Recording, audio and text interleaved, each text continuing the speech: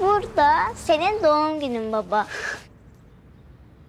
Sen yoktun ama biz de yine kutladık. Annem kocaman bir pasta yaptı. Kardeşimle ben de senin için üfledik.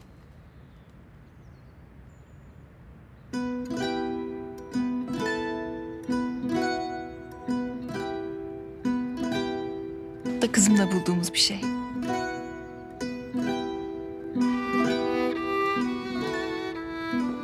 Sancar saati.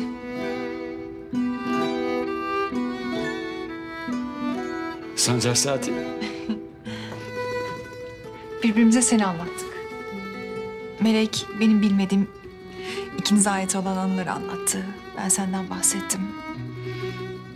Sonra o anda ne yaptığını, ne düşündüğünü tahmin etmeye çalıştık. En güzeli de hayal kurduk. Tatile gitmişiz. İtalya, İspanya, Fransa. Geziyoruz. Hem kardeşim de var. Ya siz ne güzelsiniz ya. Hayatımsınız. Her şeyimsiniz. Seni konuşmadığımız, düşünmediğimiz bir an olmadı. Bunları kaçırma istedim. Annem.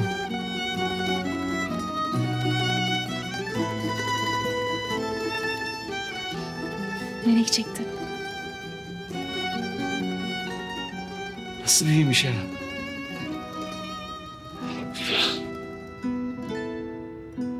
Baba.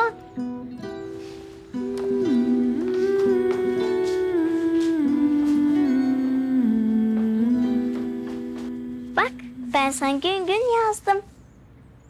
Kardeşim nasıl büyüdü. Annem bize ne güzel baktı. Ne oyunlar oynadık. Resimler de yaptık. Bak.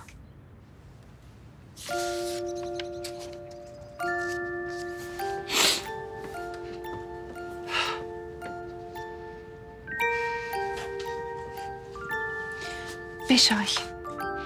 Telafi edilmeyecek bir zaman değil. Yine daha güzellerini koyarız.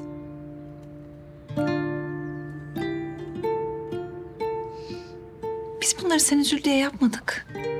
Seni ne kadar çok sevdiğimizi gör diye yaptık. Biliyorum sevgilim. Hayatımda aldığım en güzel hediye. En büyük ders.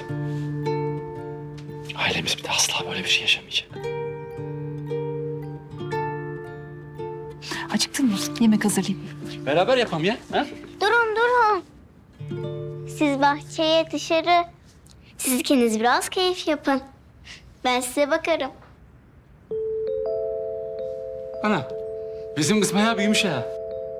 Bayağı büyüdü. Görsen yorulmama hiç izin vermedin.